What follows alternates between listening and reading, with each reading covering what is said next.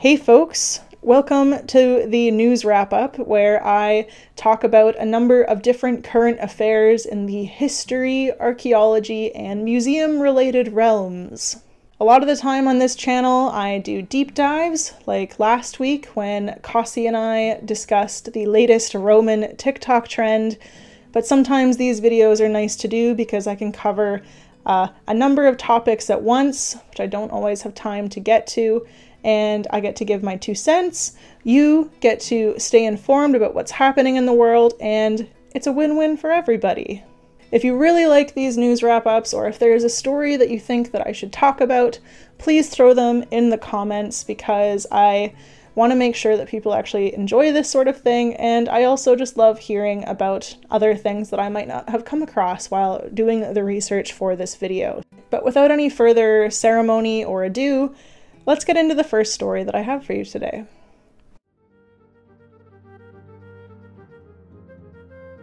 Today, we are going to start the news in the United States at the Mutter Museum, a medical museum that features anatomical models, medical instruments, as well as human remains. They have announced that they will not be hosting their annual Halloween fundraiser, Mischief at the Mutter. The event, which was held last year, was described as a night of bloodthirsty refreshments, crawling snacks and surprises, telepathic tarot reading, out of this world contortionists, a thrilling DJ set by DJ Lola Kinks, and private access to our disturbingly informative collection.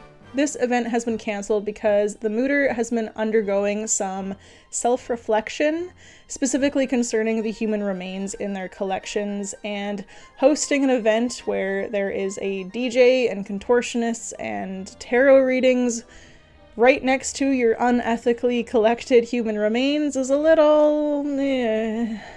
I have done an entire video on human remains and museum displays already, so I'm not going to go super deep into my own opinions on this matter, but I do think it is important to note that a lot of these human remains were collected before the codification of modern ethical standards. So, as a result, a lot of the human remains that are in storage and on display are there without the consent of the individual. And in medical and anthropological practice, that is a big no no, especially for a 21st century uh, institution such as the Mutter. With that being said, there is a new director at the Mutter. Kate Quinn arrived at the museum late last year and has been the driving force of this self reflection. According to Philadelphia Magazine, Quinn has ignited a debate over the ethics of how its human remains are handled and displayed. In a series of moves, she pulled down most of the museum's online content for review, called out her predecessor's lack of ethical standards, and announced the first systematic audit of the collection since World War II. I still do believe in the power of collections to teach, Quinn says but the ethics have to be at the forefront of what you're doing. Excuse me for a moment.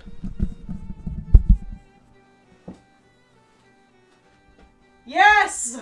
This is wonderful news, and it is a shining example of what so many museums in the world are working towards right now, and we love to see it. Although these decisions have, of course, been met with a lot of criticism and some tension, this is ultimately the ethical thing to do. It appears that Quinn wants the museum to focus less on death and pathology and more on health and wellness, which is a really interesting way to turn this museum around. And I've never visited before, but I really hope that one day I can go and check it out for myself. The happy museum stories don't stop there, though, because I have another story for you about repatriation. In 1929, a Canadian anthropologist removed a totem pole from the Nisga'a First Nation in what is today known as British Columbia. They sold it to the National Museum of Scotland, and it has been on display there ever since. It is also important to note that the repatriation of this pole was negotiated by the Nisga'a as a self governing nation. So the Canadian government wasn't involved in any part of the process, and I imagine that that is very fulfilling for the Nisga'a Nation. There were many personal and sacred items that were removed from First Nations people's possession in the 19th and 20th century across Canada and a lot of it was done, quote, legally.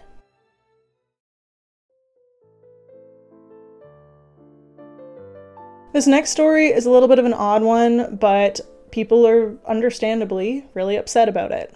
A little over a week ago, the infamous sycamore tree that sat in the eponymous Sycamore Gap was felled. It was chopped down. The gap is on the longest remaining stretch of a Roman border known as Hadrian's Wall that was built up around the beginning of the 2nd century AD. The sycamore tree is not nearly as old as the wall that it stood beside, but at an estimated age of 300 years old, it is still considered a huge, heartbreaking loss to a lot of people. It was a staple of the landscape, and it was even featured in a few movies, including Robin Hood, Prince of Thieves, starring Kevin Costner and a truly abysmal English accent. But I'm free.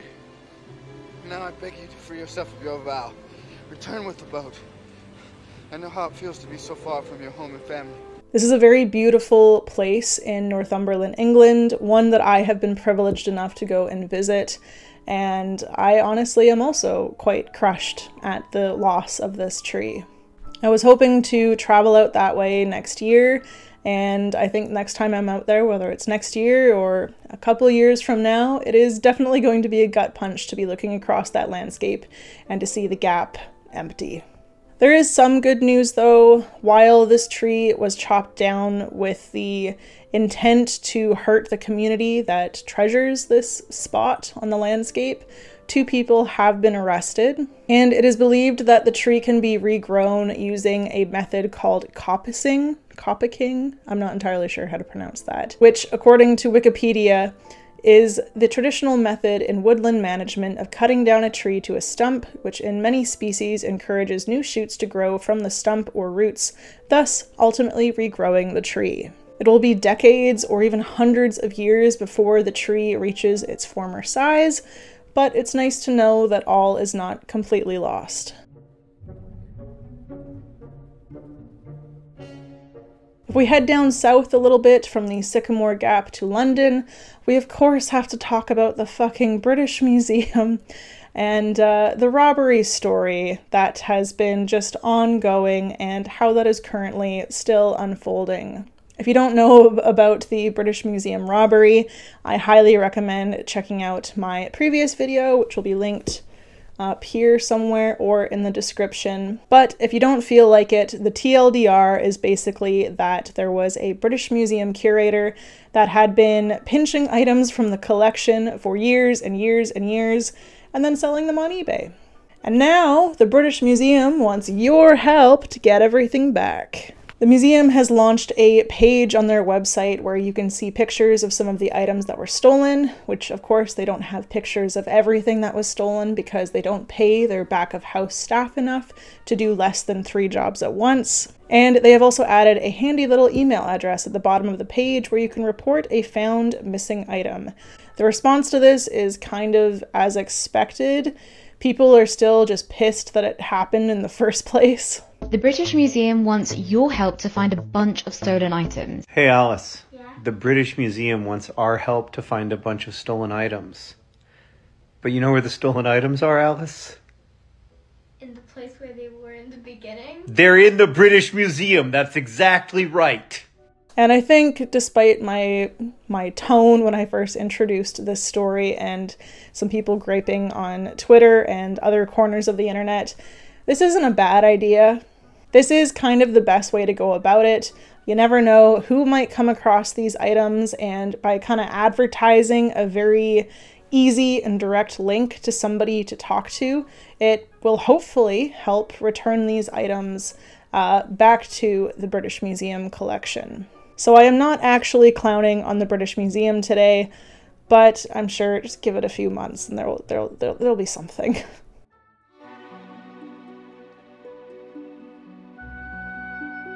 final story of the day that I want to talk about concerns two things that you wouldn't normally put together in the same train of thought Pokemon and Van Gogh. Should Vin- Vincent Van Gogh to the polls, kids? Pokemon go to the polls. If you haven't heard, there is in fact a Vincent van Gogh museum in Amsterdam, and they teamed up with the Pokemon Company to create Vincent van Gogh inspired Pokemon art. Or maybe it's Pokemon inspired Vincent van Gogh art. I don't I don't know. So my first thought was obviously this sounds really fun and really cool. Damn it, I wish I was in Amsterdam so I could go and see this. But my second thought might be a little bit contrarian. A lot of the media surrounding this that I have seen has talked about how they want to introduce new audiences to Vincent van Gogh, but like, doesn't everybody kind of already know who he is? Like, isn't he one of the most famous painters, if not the most well known, in the Western world? Like, there are so many projects and initiatives to introduce new audiences to Vincent van Gogh that you would think that this was part of like the Marvel Cinematic Universe or something. I recently went to the Van Gogh Experience, which is a traveling exhibition where they uh, expand Van Gogh's paintings, project them up onto walls, animate them a bit, and you can walk through this giant room filled with these animations. And it was fine. I don't know, it was a bit of a letdown if I'm being honest. The images were kind of pixelated and there was nothing on the ceiling, so like halfway up your field of view, there's just darkness. I posted about this on Instagram a couple weeks ago if you want to see my my full short review, but I wasn't as impressed as I would have liked to have been. And maybe I'm just being nitpicky, but it was $35 to get in and I just I was expecting a little more, you know? I was just I was expecting a little more. I, maybe that's my hot take for this video is that uh, the Van Gogh experience wasn't worth it in my opinion. But there is a point to my long-windedness here. Why don't we feature any other artists with these sorts of things? And like, I know why this happens and why they chose Van Gogh. It's because Van Gogh is basically a brand name at this point. People know that it will sell. And I don't know, the, the commodification of Vincent van Gogh has just, just kind of makes me a little bit sad. Supposedly, there was a bit of a frenzy at the gift shop of the Pokemon Van Gogh exhibition as people just cleaned the entire thing out. And just a few hours later, there were already listings on eBay for some of this merchandise. The situation just kind of makes me a little bit sad, and I originally put this Pokemon Van Gogh story at the end of the video to end on a high note, and then of course I started writing about it and thinking critically about it for more than two seconds, and um, I still want to end this on a high note though, so I will say the art is very sweet and it's obvious a lot of thought went into what Pokemon should go into what paintings and you know, if I was in Amsterdam, I would still absolutely go and see this. There's just a, a, broader conversation that I think should be happening here, is I suppose all I want to say. If you do end up going, uh, please send me pictures because it looks really sweet and really fun. That is all that I have for you today though, folks. So if you did enjoy this video, please make sure that you hit the like button. And uh, if you do want to see more of these videos, uh, these news wrap-ups, please let me know. And I will also be sure to make more if people like these. Thank you for coming along with me, and I hope that whatever else you get up to today, I hope that you have a nice time. And wherever you are, I hope that you have a wonderful day or evening, and I will see you next time.